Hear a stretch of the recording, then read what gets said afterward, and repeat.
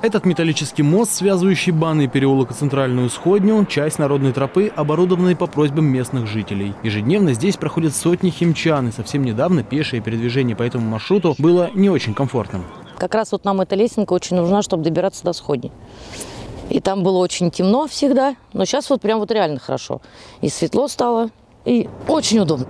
Новые светодиодные фонари на народной тропе установили благодаря усилиям партии «Единая Россия», последовательно выполняющей пункты народной программы. Этот партийный проект создан именно для того, чтобы своевременно реагировать на просьбы горожан, рассказывают депутат Совета депутатов Химок Руслан Шаипов и лидер движения общественной поддержки Олеся Климачева, приехавшие поздним вечером в Сходню оценить новое освещение народной тропы.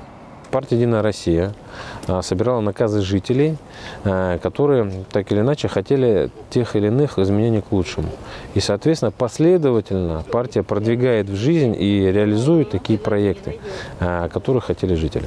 Благоустройство народной тропы в Сходне стало очередным этапом улучшения городской среды Химок. Ранее вдоль пешего маршрута в поселке Лунево также установили уличное освещение, а в Брехово на народной тропе появился новый асфальт. Сервер Бекмамбетов, Вильфред Демковский, новости Химки ТВ.